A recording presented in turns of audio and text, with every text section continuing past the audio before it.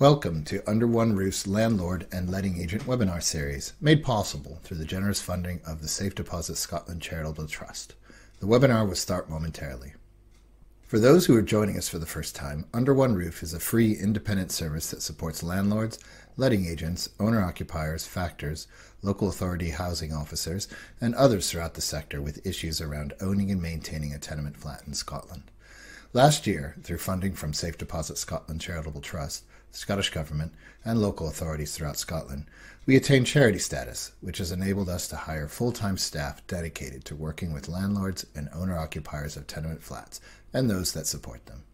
In the coming months and years, Under One Roof will be increasing the information available on our website, our Twitter, Facebook, and Instagram accounts, and through our monthly newsletter. We encourage you to share information we send out with those in your building or in your sector to help us improve the quality of tenement flats in Scotland. Today's webinar will last one hour. We encourage you to post your questions and comments into the chat box at the bottom of your screen. The information provided in this webinar is designated to help you understand your rights and responsibilities and to understand what professionals tell you. Any technical information on repairs is designed to help you spot problems with your building and then understand quotations from builders so you can get the best job carried out for the best price. But every building and every group of owners is unique, and so are their problems which is why the information presented in this webinar can only act as a general guidance. It is not advice or a recommended course of action. When it comes to action, you should always seek professional help with anything more than a simple problem. More details and our legal disclaimer can be found in the About Us section of our website. Finally, if you are a housing professional wishing to record your attendance as CPD, please visit the webinar page on our website so you can log your participation and receive a confirmation certificate. Thanks for joining us. Let's begin.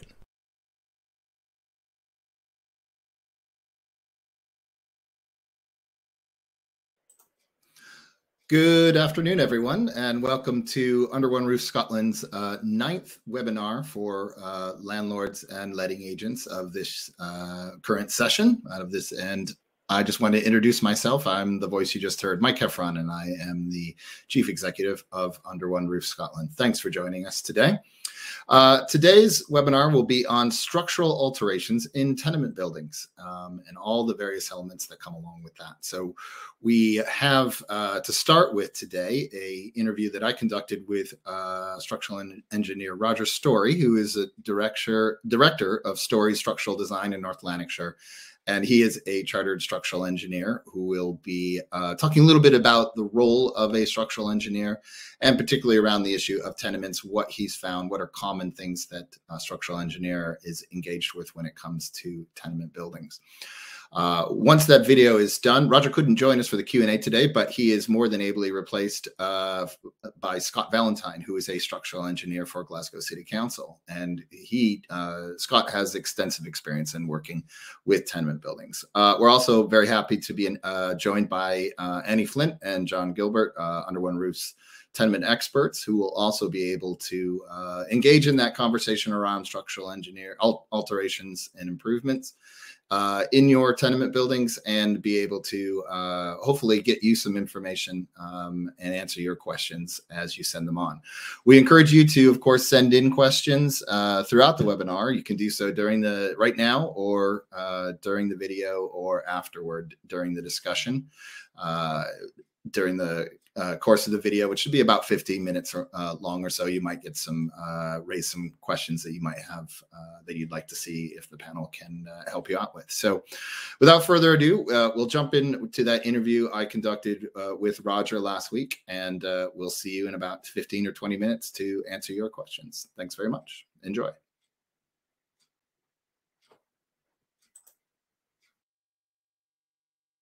Robert, thanks for joining us today. Could you first just talk through uh, what the role of a structural engineer is?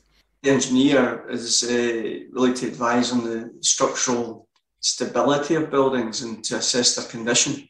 And as it applies to the, the structure as a whole, it's not every part of the building that the engineer gets involved in, such as windows or doors or whatever. It's a facade. It's, it's more the, the, the, the load bearing elements of the building. So that's where the engineer's expertise lies. Um, and that can be, if we're talking about defects or repairs, then the engineer is able to advise on whether these defects are have um, a serious implication regarding the stability of the property.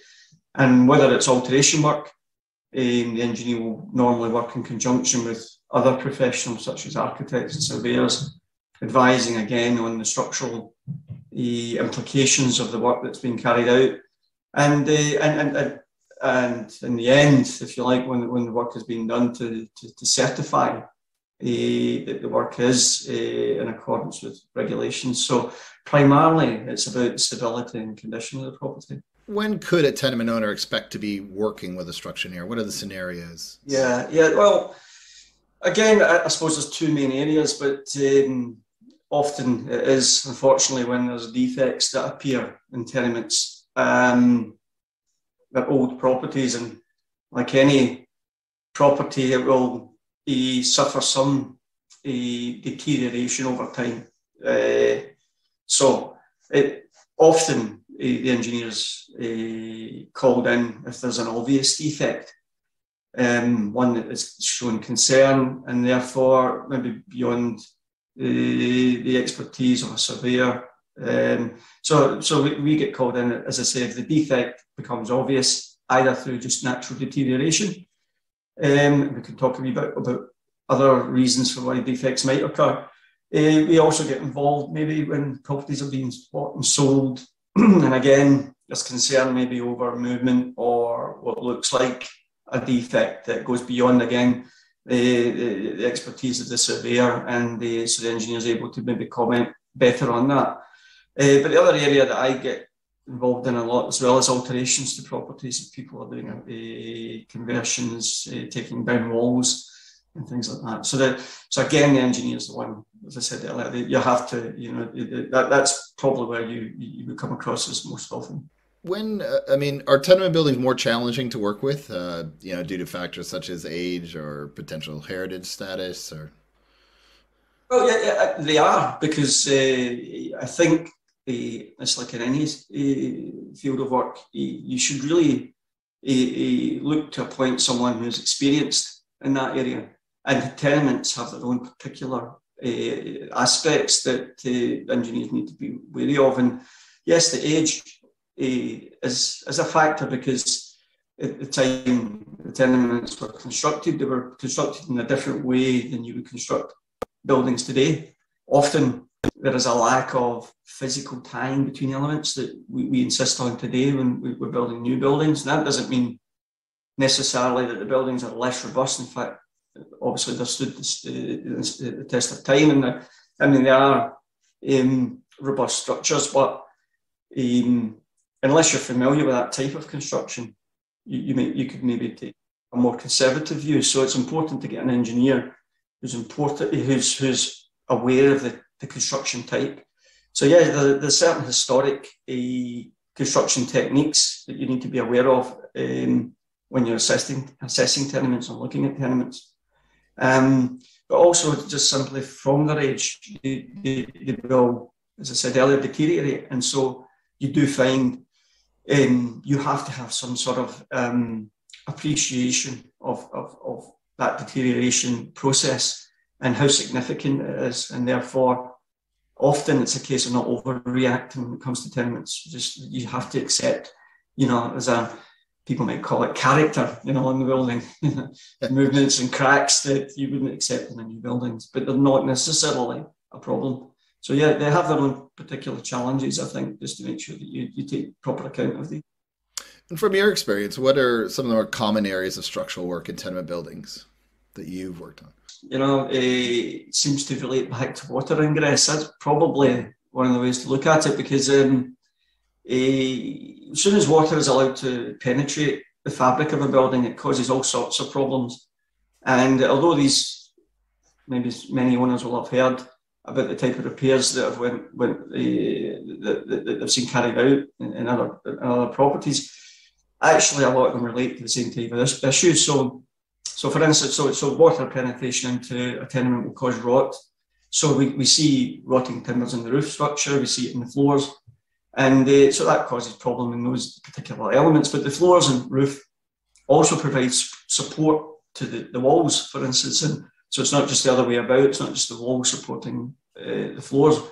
So the lateral stability of a wall can be a, it can be affected by rotting of the floors, which causes the walls to move out. So quite often, the type of defects that we see a lot uh, uh, is that type of defect: lateral movement of walls, bulging of walls, gables, movement at bay windows, that type of thing, which is all quite common defects that happens simply, or maybe not simply, but happens. A, lot of it is due to, as I say, water ingress into the structure. So that's um, that's the type of defects we see a lot. And the other areas that I get involved is, is when people alter properties, um, uh, uh, and there's been some, uh, yeah, well, there needs some advice regarding altering property, but also you get defects arising because either work has been done um, incorrectly and caused some problem above or below, and um, and other other things like it maybe something has changed around the building. Mm-hmm. That could be a new road. It could be you know it could be new construction activity. It could be something something like that that's actually impacted on the property. So you know we, we get involved there as well. I've seen defects occur simply because a new building has been constructed next to an old tenement. Um, yeah, and, and subsidence is the other one, uh, particularly in the west west of Scotland. So that's the, the, probably the main areas that I get involved in. And how can owners of tenement in tenement buildings ensure the stability and strengths of their buildings? What are things that they yeah. can do?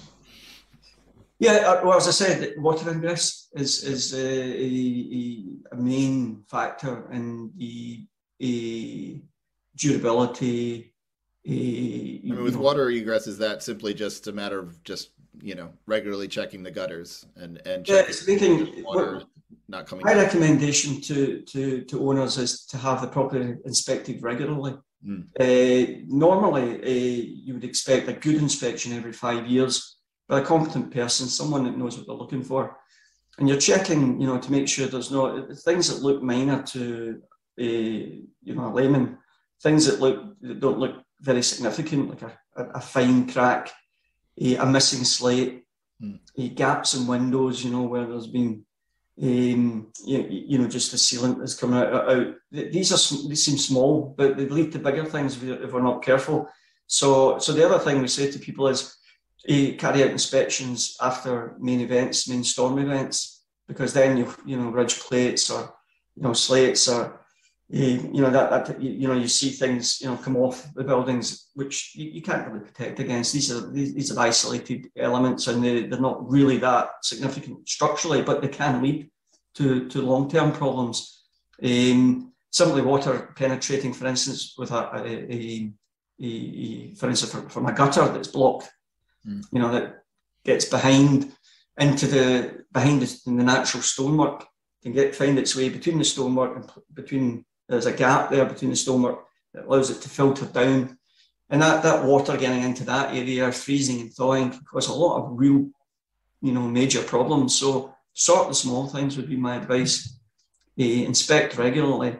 And when you do see an issue, uh, get someone you know who knows what they're talking about to, to, to review it. Um, there's always, I think, sometimes a reluctance to involve maybe a, a professional engineer because they may highlight bigger problems or something. But that's that, that's kind of short term thinking.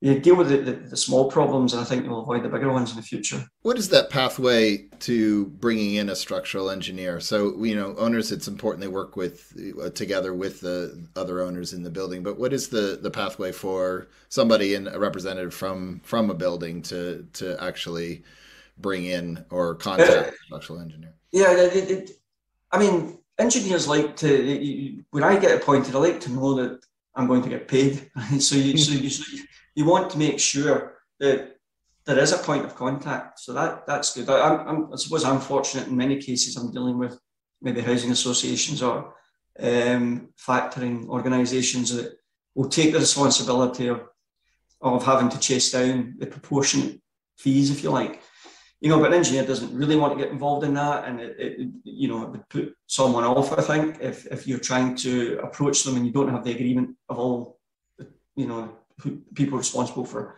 for paying the bill. So, but but soon just now there is one point of contact. It's fairly straightforward to get an engineer.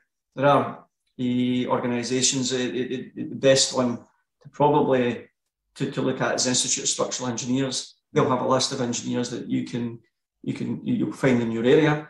Um, local authority will also have some uh, recommendations, um, and the other probably uh, area I would look for is, is, is called SER, so Structural Engineers Registration. They deal particularly with um, new new buildings eh, or, or new work. You know, so if you're altering, doing some alteration to to a flat, then the SER site would give you the name of registered certifiers are able to to you know to to, uh, to certify that type of work. So the, those are the main ones, you know, Institute of Structural Engineers, SER registration. Um, and, you know, and, and if you, you, you know, I've, I have been in the past involved with private owners who can't get agreement, you know, from, from other owners. And that is difficult. Um, and uh, and what uh, what I've been asked to do on a couple of occasions, and it's worked out, I think, okay, is that okay, someone has to take responsibility to get that initial inspection, which may not be too expensive, but but often often there's someone more affected than others with a defect. You know, top floor flat maybe when there's water ingress from the roof. So it's not been the first time that I've been asked to go by the top floor flat owner to look at something that may be a bigger issue uh, but to get over the line, you know, to make sure that you know there is a defect there before we involve everybody, it's been that single appointment. But so that's the various ways that I've been involved. Yeah. And finally, I mean, is there examples, maybe just the opposite of that, where you'll get calls with people thinking, "Oh, I need a structural engineer for this," and in reality, actually, it's either something else or it's actually something sort of much more minor that they wouldn't need to bring in a structural engineer. What Absolutely, you... yeah, I, yeah. No, you're right, Mike. I think the um, I, most cases I'm getting called out to things that are not really structurally important hmm. uh, because people do get worried about fine cracks in buildings.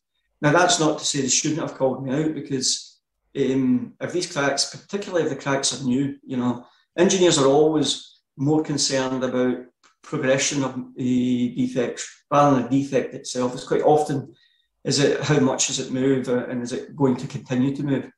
Because the buildings themselves, old buildings, you, you know, they, they, do show cracking, as I said earlier. You know, it's a part of their, uh, you know, uh, their attraction to some people that they do don't look, you know, you know, straight and plumb and, and, and things, what happens over a period of time, stresses build up in buildings and suddenly there'll be a little bit of movement. And once that's happened, then it possibly won't move any further. Um, and you do get natural finishes that show cracking. So people do work to a flat or buy, buy a new flat, move in, don't realise that someone has just painted and decorated and that, that crack appears. So, you know, quite often the defects are minor and there's no serious work required. Uh, and that's really where it comes back to having an engineer who's experienced, you know, and knows not to overreact to defects. Uh, it's quite important with uh, with old buildings, you know, let them do their thing to some extent. So uh, often happens. Great, Robert. Well, thanks very much for uh, taking the time to, to speak with us today.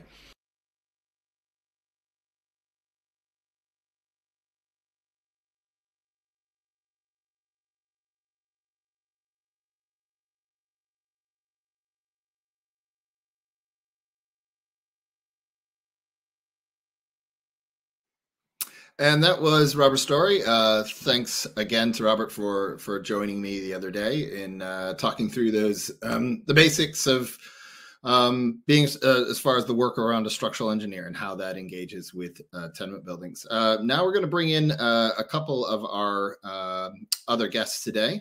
we've got Scott Valentine, who's going to join us. Scott is, like I said, a architect or sorry, a structural engineer for Glasgow City Council. welcome, Scott. Hello, everyone. And uh, we've also got uh, John Gilbert, uh, a our resident architect here at Under One Roof. Um, Scott, maybe I thought I'd throw this out to both of you just just to get your thoughts. First, from you, Scott, as a as a fellow structural engineer, um, and anything that that uh, Robert brought up that that sort of struck you as far as uh, something that would be important to sort of hammer home, and then I'll I'll throw it over to John as well. Yeah, well he's um, made a thorough job of explaining the role of the engineer um, for a start. But um, and he pointed out that we can be involved as a reaction to defects, um, but also um, to provide advice regarding proposed alteration work. Now, as far as um, reacting to defects, you know, we could discuss examples of uh, defects that um, you know might concern the owners of the the, the flats. Um, towards the end of the, the video there, Robert spoke about um, cracks in buildings, and I would say that possibly one of the more common um, defects that concern people. Um, some of them are insignificant, some of them more um, the larger and more ongoing cracks um, can be more significant. But I would just uh, you know, back up what Robert said that yeah, it's it's a good idea to get an engineer to look at these things, um, and then it puts your mind at rest, um, gets you the advice from a professional who can make a, a competent um, judgment. Um, so yeah, cracks can be you can you can have a diagonal crack up an internal wall. Um, you can have a you can have cracks opening up between adjacent components. Um, and in all sorts of places, but get somebody out to have a look at them. Um, the other thing which um, is common is um, erosion of um, the, the stonework on the outside of the building, and this can cause structural problems. Um, for instance, to mullions and lintels, the load bearing elements around the walls. Um, it can cause pro- particular problems around bay windows and oriel windows. Um, erosion of stonework itself is not actually really structural. It's not really a structural matter, but it's if it gets to a stage where it causes a structural matter, structural problem, that that's you know that's that's where we have to become concerned. So um, mullions and lintels in particular, um, they need to be you need to make sure that they don't get overly corroded. Um, and lintels as well. Come back to cracks, they can become cracked um, if there's a flaw in the stone or or whatever. Um, the best way of rectifying um, eroded or cracked lintels and mullions is just simply to take them out and replace them.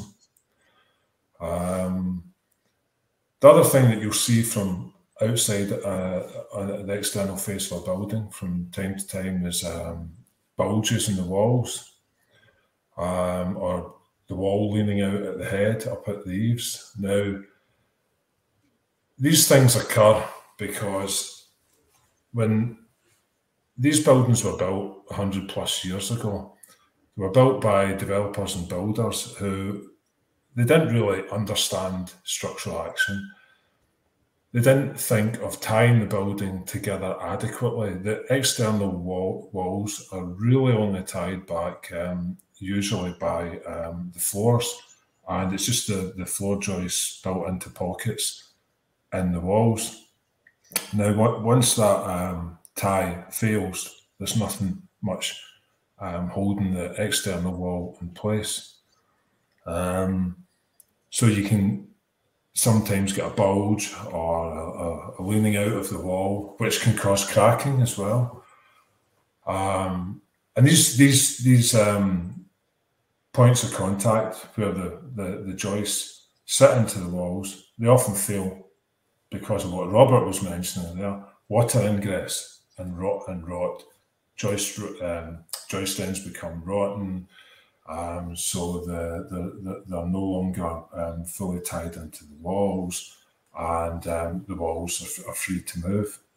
Um, so that's something that's very common, um, and I would recommend you get an engineer to look at that. the, the, the way that is usually rectified is um, the walls are tied back. Well, you would you would make good any rot work, uh, any rotten joists, cut and splice the, the rotten joist ends. And you would tie the walls back using metal straps and uh, rods back to the floor. Um, you could also try and tie them back to any um, adjacent um, walls inside. Um, and in the worst cases, the wall might have to be taken down, the external wall taken down and rebuilt. Um, maybe just like full, uh, half height, maybe not necessarily full height. Um, another problem with external walls, of course, is that, um, and th- this really apply only applies to gables, is flues, chimney flues. If you can imagine, you've got a gable wall, and there may be you know, um, two fireplaces at each floor level, which could result in eight flues um, running up the gable wall. It's an awful lot of voids um, in the wall, and um, that can weaken the, the structural integrity of the wall. It can allow water ingress down the wall and all the problems associated with that. Um, so that would be another problem with uh, external walls. Um, I'm really painting a bad picture here for. I, could go on and on. Um, so, Rotworks. Um, obviously, water ingress um, is um, it's not good for these buildings. There's a, there's a lot of timber. Um, you get the timber roof trusses, they, they are often rot affected. Um, the, the, floor joists, if the water percolates down the building, um, there can be timber plates built into walls. Um, they they're called leveling plates, and we would never think of doing anything like that in this day and age. Um, and if you have uh, rot in a leveling plate, you have to um, cut them out locally and pack them. Um, the timber bressummer beams around bays uh, and oriels, which are the big beams that support the um, the floor joists. Um, and then you've got the timber safe lintels at the windows, um, which are the lintels that support the inner part of the external walls, because obviously it's a stone lintel on the, the outer skin of the external wall. So all these things can become rot affected.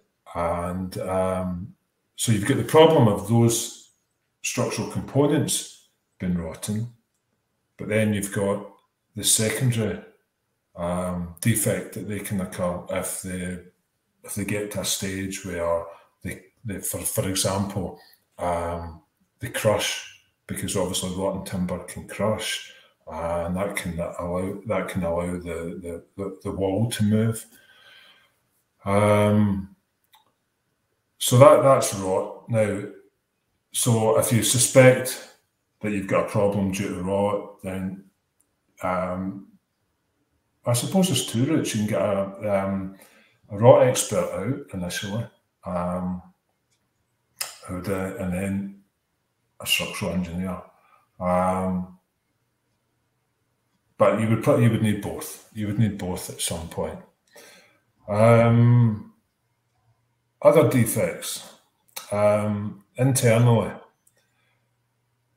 as Robert mentioned there, people are prone to do, making alterations to their flats. Um, one of the most common ones was um, uh, altering um, bed re- the bed recesses uh, making them into kitchens or bathrooms. Um, so you have to make sure that you do it in such a way that um, you take account of the load path and the and you don't redistribute the stresses down the walls.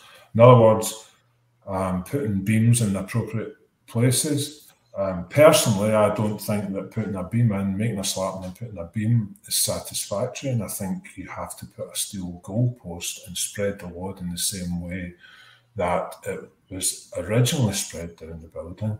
Um, and you rarely see it done that way.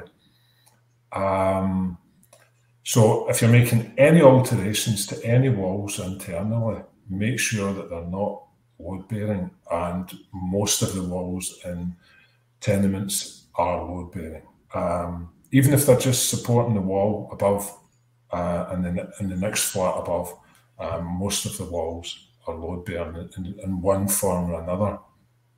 So you need to make sure, for a start, you get an engineer in, he'll make sure it's uh, uh, make an assessment whether it's a load bearing wall or not, and what is required for you to, to make an opening, new doorway or whatever in, in that wall.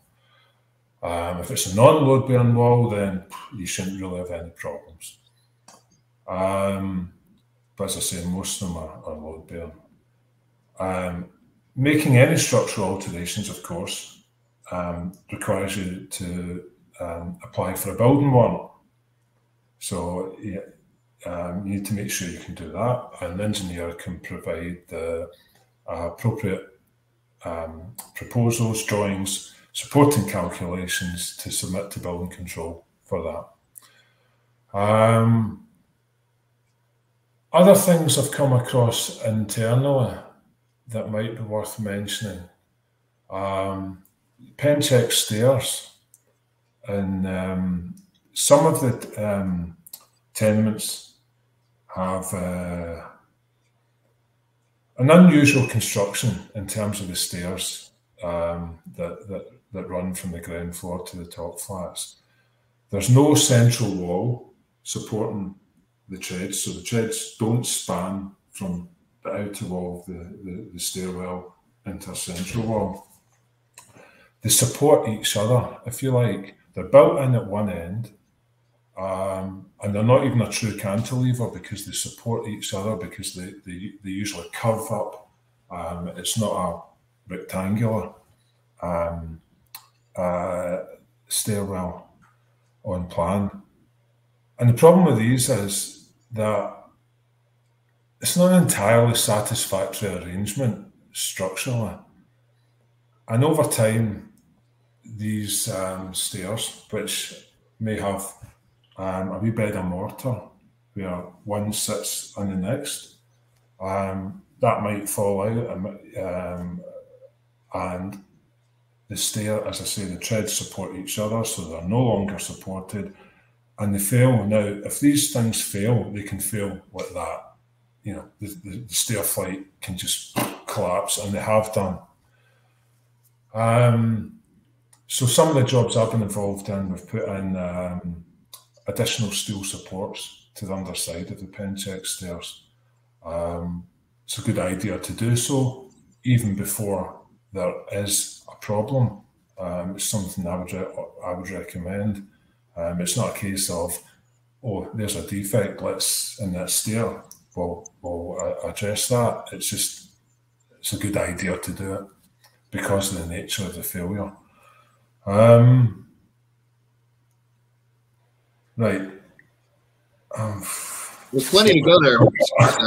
No, you, you covered a lot of stuff, and I, just wonder if um, John, you wanted to pick up on on anything there because there's a, a, a, large amount of really useful information. Yeah. Um, well, I, I, I, want to start by saying if you were getting uh, a five yearly inspection by a building surveyor or an architect, they would probably highlight what areas needed a structural engineer uh, rather than just going mm-hmm. up calling out a structural engineer for something. I mean, it's good to have that uh, five yearly inspection so uh, you would get that uh, professional advice to use a structural engineer.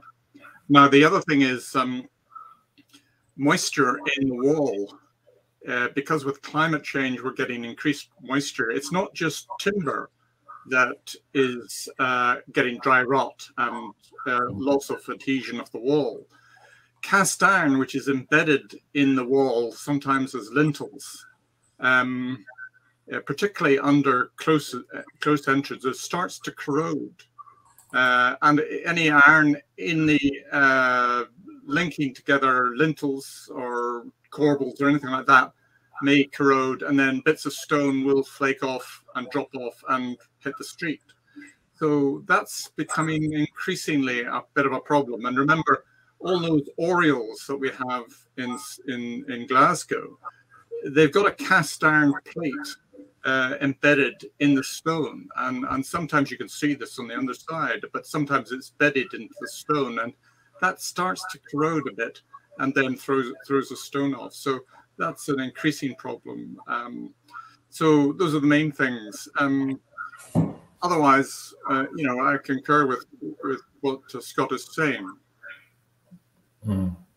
The the oriel window one is uh, an interesting one, but I've been involved in quite a few jobs where, where that has occurred, and um, it's got to the stage where the oriel is actually leaning out into the road, and it's a case of um, road shut, emergency propping put in, put in place, etc. Um, so yeah, um, a five yearly inspection may have caught that before it would get to that stage. Um, so yeah, good idea.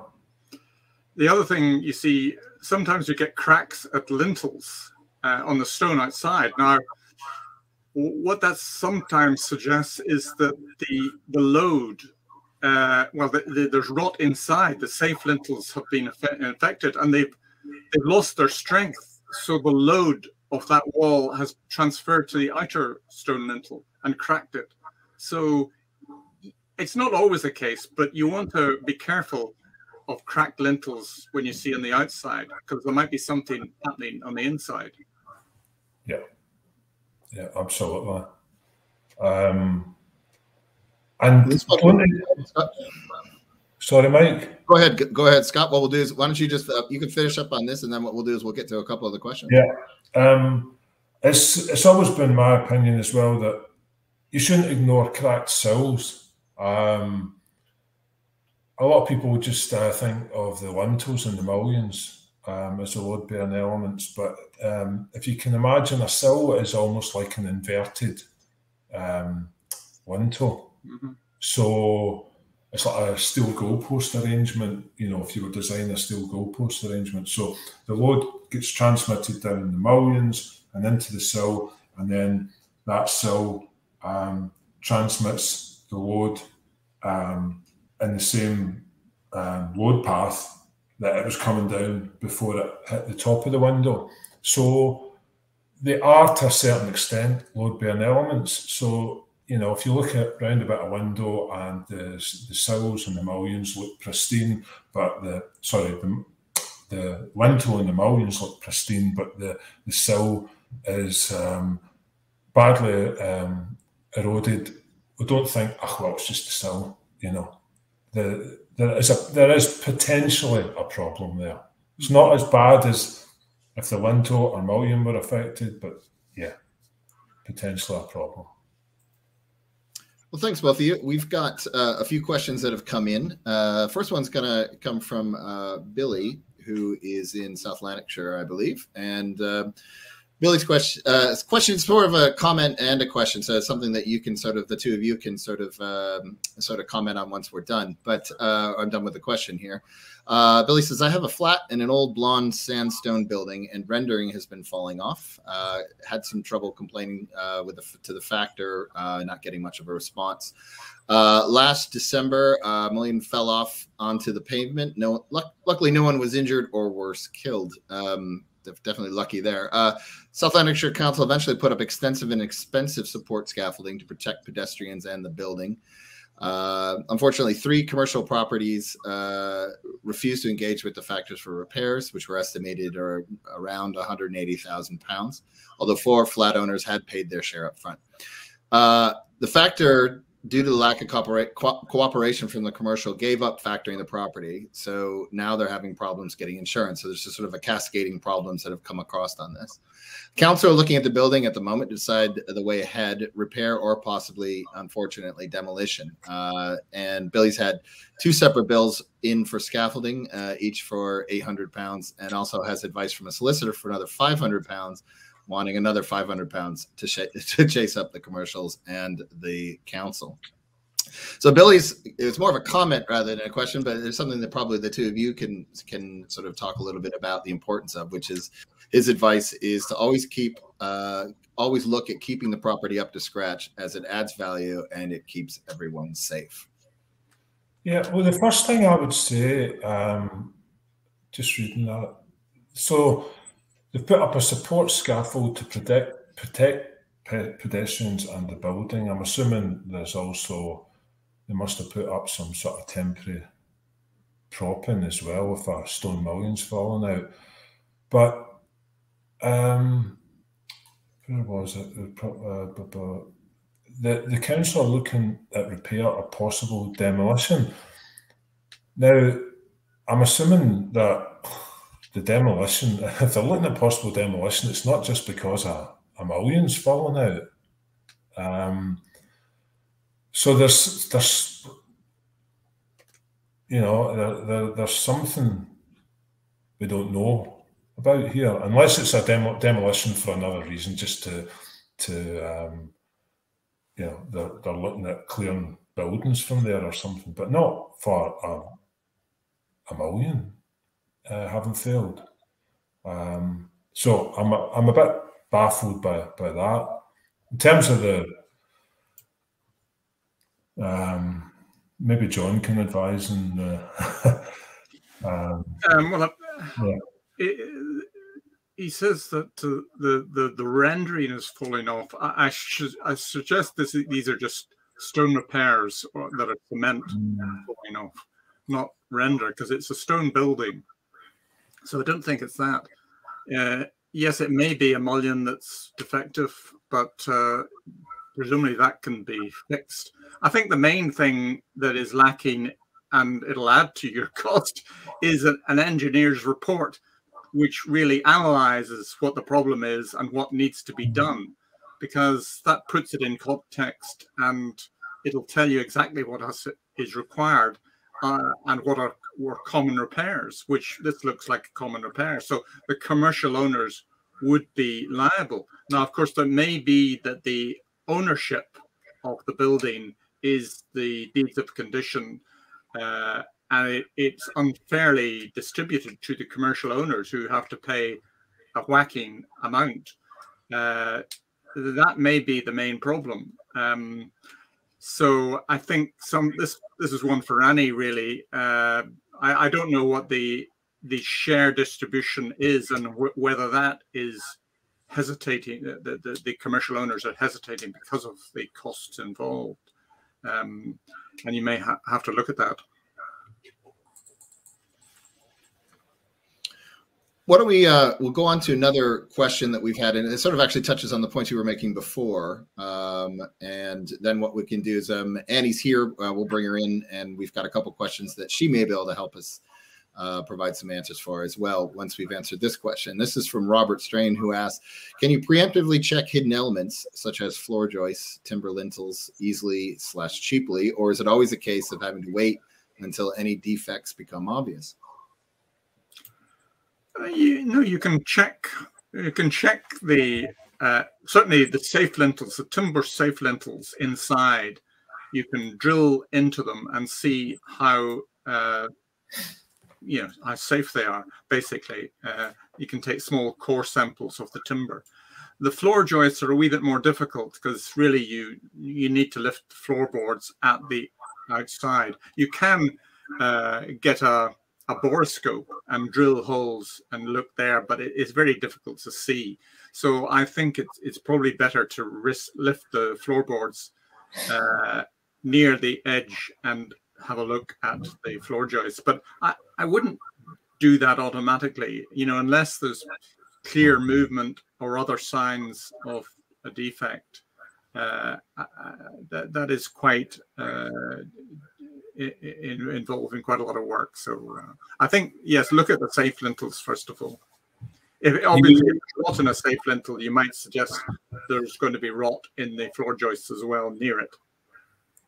But I think um, looking at Robert's question, um, you, you you can't check for rot without affecting the finishes in some way, you know. Um, so it's, it's going to have to cut into the wall or drill into the wall or whatever. And even opening up uh, the floor joist ends, you won't get a definitive answer just by looking at the joist because the most the, the, the first place that the joist is going to be rot affected is right at the end within within the wall pocket, so which you you can't see.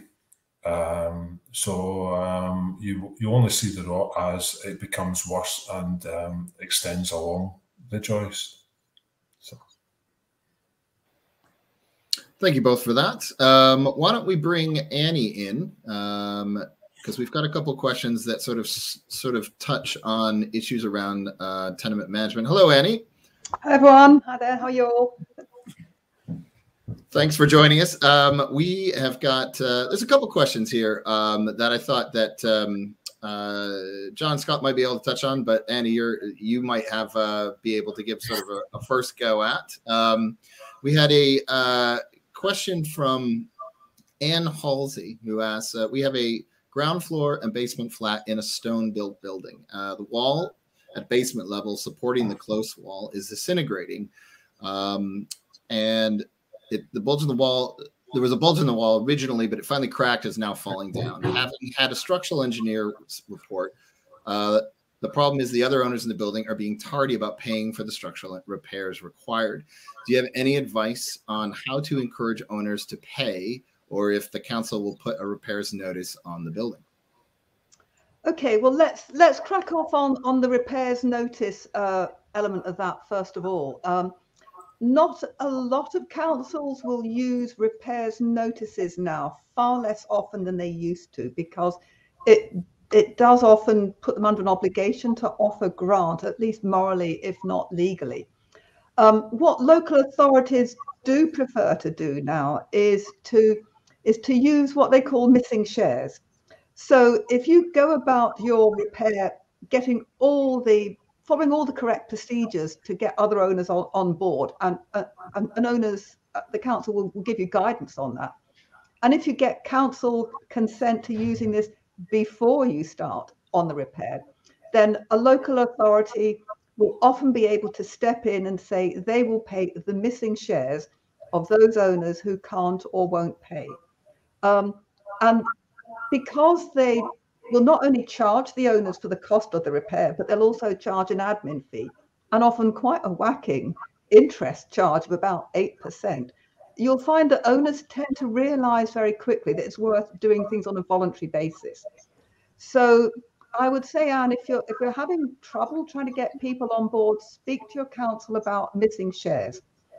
Now, if you're in an area where the council won't do that, then you're kind of going down the classic enforcing repairs route.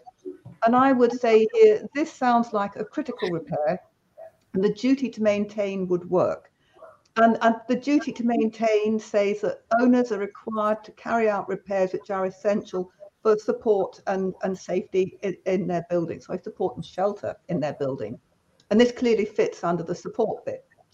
The problem with that, though, is that some owners are going to have to, you know, effectively cough cough up on behalf of those owners who aren't paying to get the repair carried out, and then go back to those owners, and if necessary, take court action to try and get the bill, you know, get the bill paid by those non-participating owners. And you might end up having to sort of put a charge on the building to get that cash back if owners are just being really reluctant. So yes, there are mechanisms. Um, but I think really once you start, you know, taking some kind of action and make it quite clear to owners that you're being serious, you are not going to let this go, um, and that you know people could find it a lot more expensive if they don't participate in a voluntary way. Then people will tend to sort of to fall in with you. Um, so keep going at it, Anne. You know, um, I mean, we've always given advice. It's better to talk to owners first of all. You know, keep trying, but just make it quite clear that you will take action if they don't respond. And if you need to, you send them copies of pages from from from from from the website saying this is what I'm going to do. Here are the implications for you. You know, just keep going at them, man. But those are the methods that that you can use. Thanks, Annie. Scott, John, is there anything you wanted to add to that? No, no. None. No, no. yeah,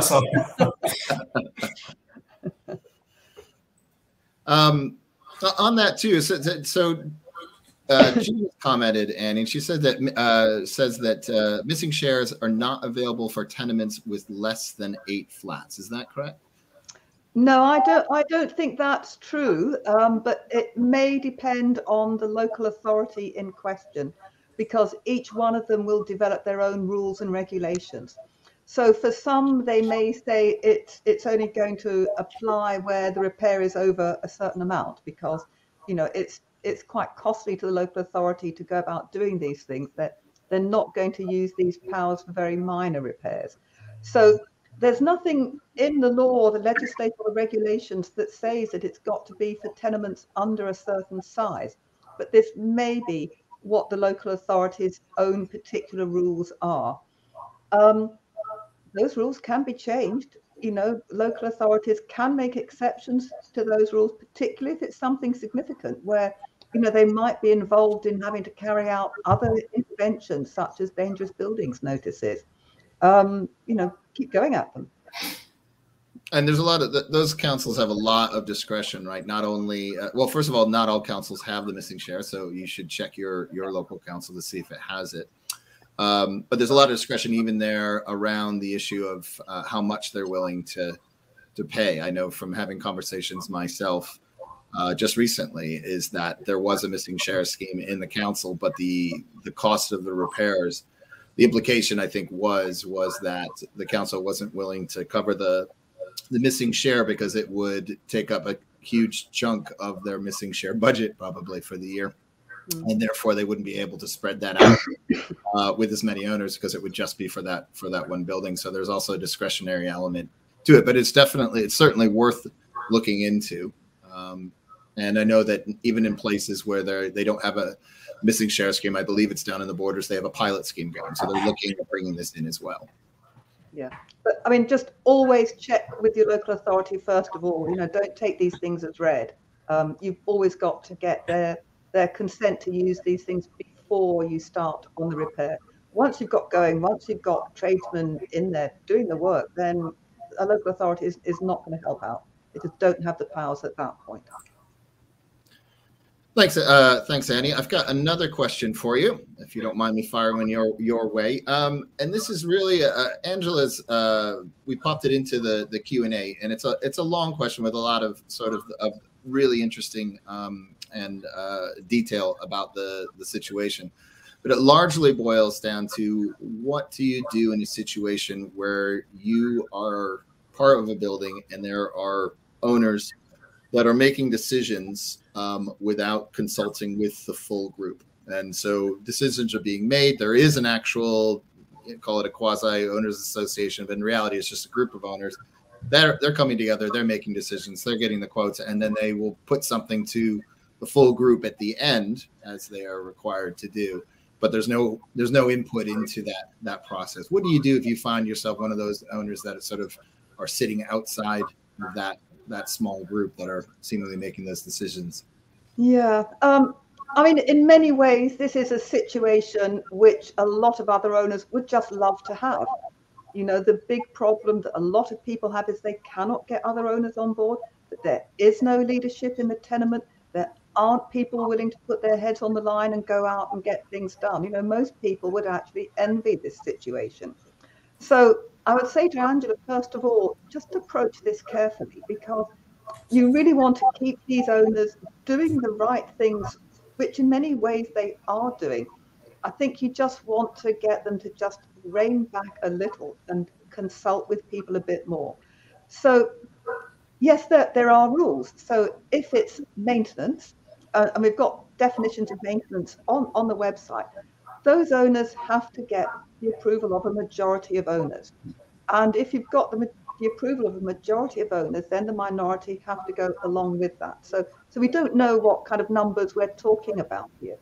But maybe you should just gently go back to those owners and just remind them that there are procedures and that and that you particularly are keen to get this building maintained, but you just don't maybe want to go quite as far as they do you know, assure them they can count on your support as long as they're kind of going about things the right way and being reasonable. So the other question that would come up maybe is about improvements. So improvements is where you're putting in something which isn't there already, basically. You know, you're not just taking care of or repairing something, but you're improving something. You know, you're really changing or upgrading considerably what's there.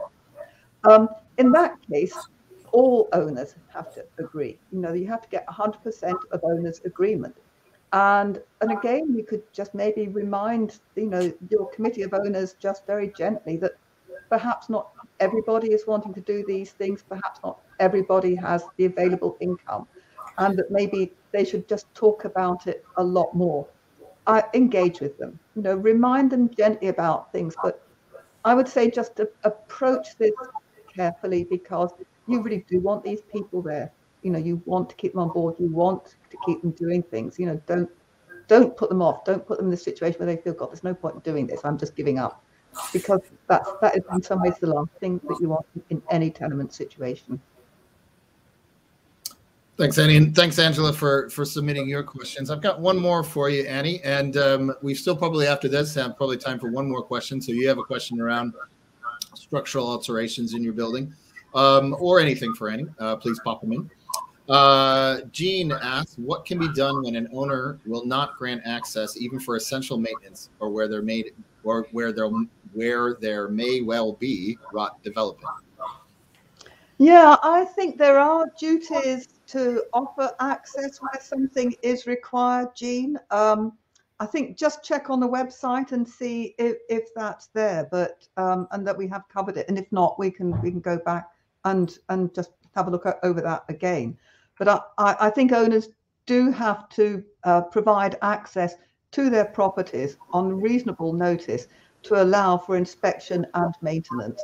Um, and it's it's in the Tenements Act, and I think you have a look, check out check out the, the provisions, and um, remind owners of that. Um, if they won't offer access, then I think I think the local authority may be able to help. Jean, the local authority does have various powers. Again, I would need to look those up. But I do have somewhere on my computer the chapter and verse of this. But if you speak to the people in the local authority, whether it's kind of environmental health, public health, or the housing repairs section, um, if necessary, they do have powers they can use to force owners to, to give access. If the council can't or won't use those, then you might have to go through the uh, what they call simple procedures in, in the court to um, to persuade owners to, to go ahead and do these things.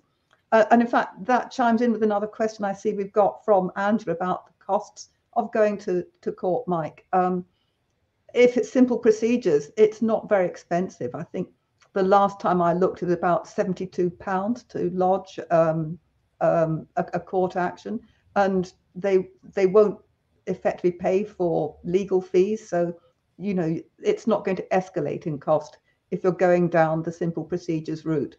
So maybe I've answered both those questions, Mike.